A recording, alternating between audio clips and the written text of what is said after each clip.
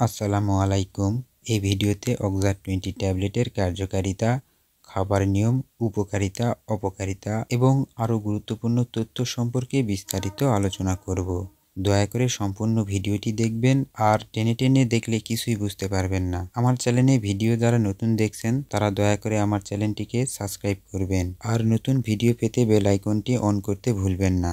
আর যারা সাবস্ক্রাইব করেছেন তাদেরকে অসংখ্য ধন্যবাদ। চলুন দেরি না করে শুরু করি। অক্সার twenty tablet square pharmaceutical limited এর একটি পণ্য। এটির জেনেটিক নাম প্যারক্সিটেন অক্সার টোয়েন্টি ট্যাবলেট আকারে বাজারে পাওয়া যায়। অক্সার টোয়েন্টি ট্যাবলেট কোন রোগের ওষুধ এবং কেন খাব?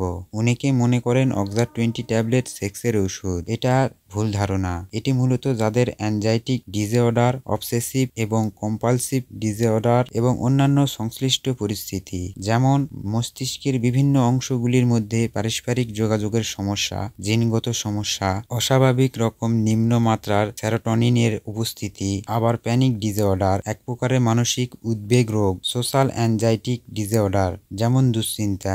দুশ্চিন্তার কারণে জটিলতা দেখা যায়, যার মধ্যে আছে মনোযোগের অভাব এবং দায়িত্ব পালনের অক্ষমতা হৃদরোগের মতন চিকিৎসা সংক্রান্ত সমস্যা, অনিদ্রা, অজীর্ণ এবং মানসিক স্বাস্থ্য সংক্রান্ত সমস্যা যেমন ভয়, আত্মহত্যার প্রবণতা এবং অনেকে আছেন যারা যৌন মিলনের ভয় পায়। এও, এই ধরনের রুগীরা অক্সার টোয়েন্টি ট্যাবলেট সেবন করতে পারবেন। কেউ যদি এই ওষুধের খাওয়ার নিয়ম সম্পর্কে জানতে চান, তাহলে বলব যে প্রত্যেক দিন একটি করে এই অক্সা টোয়েন্টি ওষুধ খাওয়া যেতে পারে। তবে এই ওষুধ ব্যবহারের ক্ষেত্রে সতর্কতা অবলম্বন করতে হবে এবং ডাক্তারের পরামর্শ ছাড়া এটা কেউ সেবন করবেন না। কারণ আপনারা ওষুধ খাবার ক্ষেত্রে কখনোই নিজেরা নিজেদের বাহাদুরি প্রকাশ না করে একজন চিকিৎসকের পরামর্শ নিয়ে যদি ওষুধ খেতে পারেন, তাহলে সেটা হবে সবচাইতে বুদ্ধিমানের কাজ। কারণ প্রত্যেক মানুষের বডি ফাংশন এক নয় এবং এক ওষুধের সঙ্গে তার অন্যান্য আরও ওষুধ একই অসুখের কারণে ব্যবহার করা লাগতে পারে। তাই অক্সা টোয়েন্টি কিসের ওষুধ সে সম্পর্কে